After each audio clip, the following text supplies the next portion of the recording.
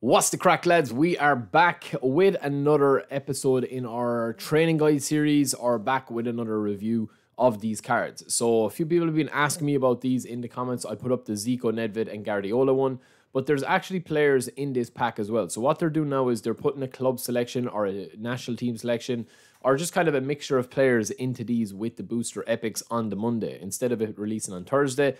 I mean, let me know if that's a thumbs up or a thumbs down. Do you like that this is Monday, or do you like, or that these packs are going out on Monday, or do you like that it's kind of the older way? Let me know if you're a bit of a, an older fan, right? Personally, I think that the spotlight on these needs to be higher. I think there should be objectives tied to these, but we'll get into that in the live stream later, right? So we've already done Zico, Nedved, and Guardiola. You can check out that video if you haven't already. I'm going to hide my face here now because I do look rough.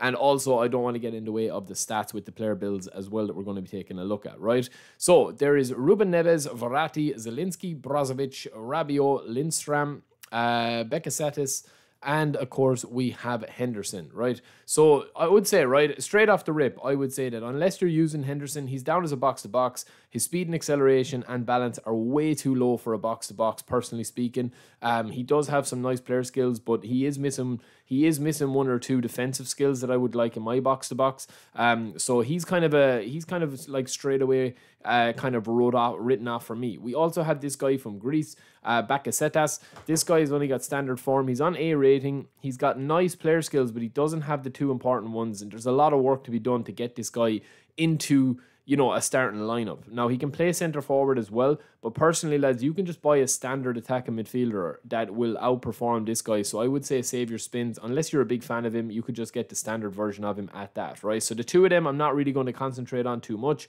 Also, with Rabiot, we will show you a training guide for him in just a second. But Rabiot's a very interesting player as well. I found from playing with him um, that he just wins a lot of ball, right? He's got lovely, lovely player ID for some reason. Maybe it's got to do with the French license that they have, that he gives a little bit of extra love. But I do like this kind of build of him. You're only going to be getting the speed and acceleration into the 70s or low 80s with speed, and stamina is going to be okay. But I just find that he gets a lot of ball. He gets on a lot of ball. He knocks a, a lot of ball uh, away from opponents and stuff.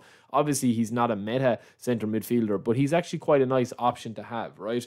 Other than that, okay, we're going to have a bit of an issue with this pack because there's a lot of players that just are not good enough, such as Henderson here. Um, you know, Rabiot's not going to really replace any of your starting centre midfielders if you've got one there. I always maintain, lads, if you are playing centre midfielders, I have a video coming on how to build a squad, but I still think Anchorman or Destroyer with a box to box is the best um, formation that you can have, you know, in a two man centre midfield, and then either have an attacking midfielder or have two wide players, or have all three and only one man up front. But we'll get into that. We've already got the video done.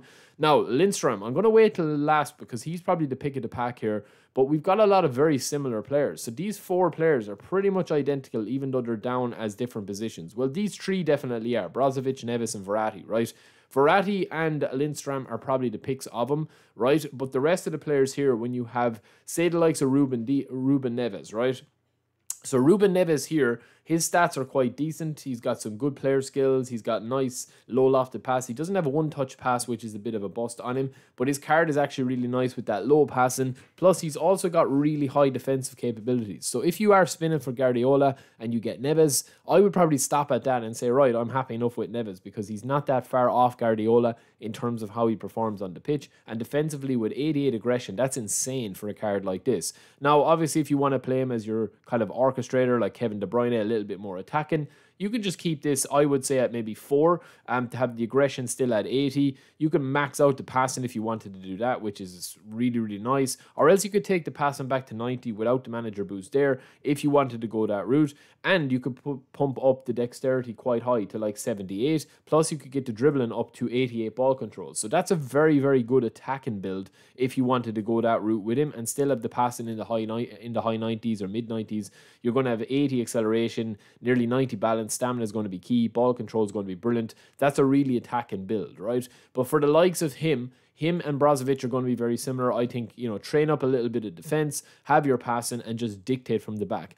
Think of an orchestrator, lads, as somebody that is like, you know, a really deep sitting DMF that just sprays the ball around without getting forward. So the likes of Pirlo is probably the prime example of a legend, uh, a legendary player that you might know um, you know, or somebody like that. He's not going to be breaking up play like the likes of Rodri or Casemiro or bursting forward like Goretzka or Bellingham. It's going to be kind of a more slower based possession type player. And it's very interesting that they've released these players all similar because that is where the meta is at the moment. I think is being able to control the play. If you are learning the game, that is the best way that I would do it. Right now, we also have Zielinski, who I'm going to get into here. Zielinski is, is a real machine of an attacking midfielder, and he's only overshadowed by Lindstrom, who will get to uh, last but not least, right?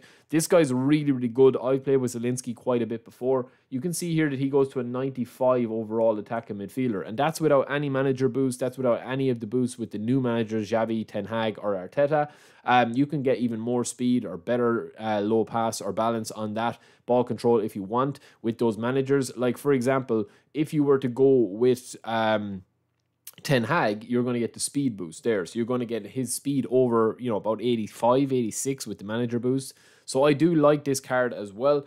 And then last, we do have my main man from this pack, Lindstrom. So this guy is a beast of a player. His form is inconsistent, which is a bit of a worry, but I would only be ever using a player like this. Listen, would I spin for this guy potentially to get him? No, but if you're in pursuit of spinning, you have maybe 20 spins and you're like, right, I'm going to chance getting Zico, and you get this guy instead, he's a phenomenal hold player not only for a squad rotational player if you're looking to you know have a bit of crack and have different players on, but also to learn the me- mechanics of the game quite a bit because he's the perfect balance between a whole player and somebody that can carry the ball and pass the ball and dribble the ball and pretty much do everything with the ball, right? And I'm going to show you why. So his player skills are really really nice apart from one touch pass which he doesn't have, but he has everything else that you could possibly want apart from low lofted. So you can give him that if you want to tell the legacy transfer or whatever, but his stats here as a young player are phenomenal, right? Now, this is again without any player or manager boosts, any player proficiency boosts. You're going to have 90 tight possession,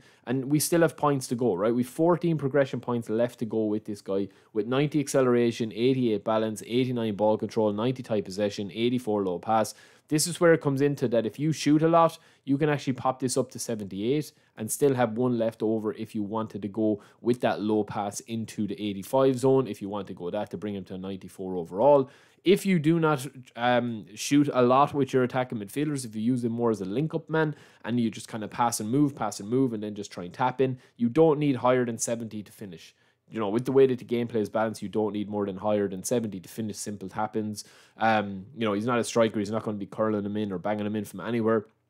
But look at the rest of his prime real estate stats, lads. Absolutely insane, leaving the finishing off the track there. We can actually get the low passing up to 88. So with manager boost, we are going to have ball control, tight possession, low pass, balance, and acceleration all into the 90 zone which is going to be absolutely phenomenal um, for a player that you could actually get quite you know easily. I think. Well, it's all look at a draw, but let me know what you guys think. Let me know uh, overall, as this is a very disappointing selection in my opinion. It's a very disappointing selection to throw with these ones.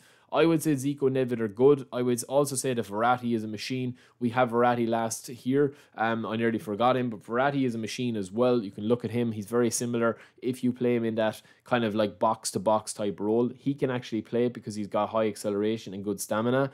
And uh, again, he is going to be a phenomenal player, even if you leave the defending aside, right? If you leave the defending completely alone there and you want to boost up his passing, you don't need to go too high, much higher with that. You've got dribbling, you've got everything that you could possibly want there. You can actually get his dexterity up to 86 with 98 balance if you want to go that route um, or even if you wanted to go there. And that's with aerial strength as well. You don't even need aerial strength if you're playing that positional type game. You can have this guy as just an all round monster. Like he's just an attacking monster um, if you want to play him as an attacking midfielder. So let me know. But yeah, for me, it's a disappointing pack, to be honest with you, lads, when we break it down like that.